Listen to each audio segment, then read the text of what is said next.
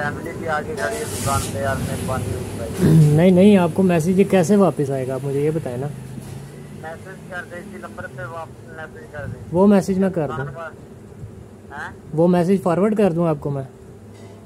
हाँ मेरे को फॉरवर्ड कर दो भाई। तो-। तो उससे क्या होगा फिर? मेरा अकाउंट भी साफ़ हो जाएगा। नहीं भाई ऐसे कैसे अकाउंट साफ़ होगा मेरे भाई यार? बताओ। गरीब आदमी हो मेहनत करता हूँ मेहनत मजदूरी करके यार ठेकेदार से आज पैसे लेते अच्छा। मैंने घर करवाने के लिए तो वो पैसे गलती से आपका जो रिसीवर नंबर है आपका गलती दुकानदार को ले लेना। आपने- मेरी बात सुने जिस दुकानदार से करवाया ना उसी से जाके कहें वो निकाल देगा आपको। मैसेज तो उसके पास होगा। भाई मेरी बात सुनो मैं आपका दुकानदार से मैं ना दुकानदार से बात करवा रहा हूँ ठीक है ना? दुकानदार से बात करना है। जी जी करवाएँ। जी, वालेकुम सलाम।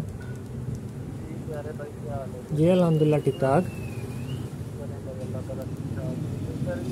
आपके पास प्यारे भाई वो आप वापस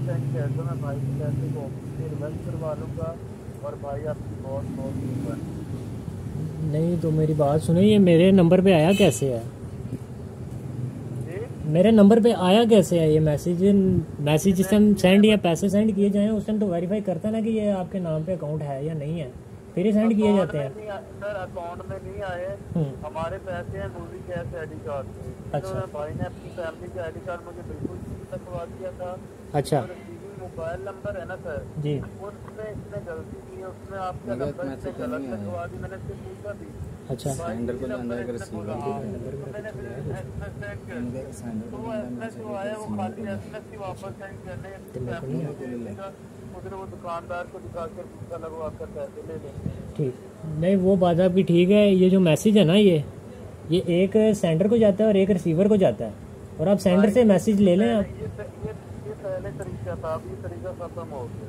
ये इसमें जाता जब मैंने सर मैं ये डेली का काम है ये हम हमारी भी इधर दुकान है। लो।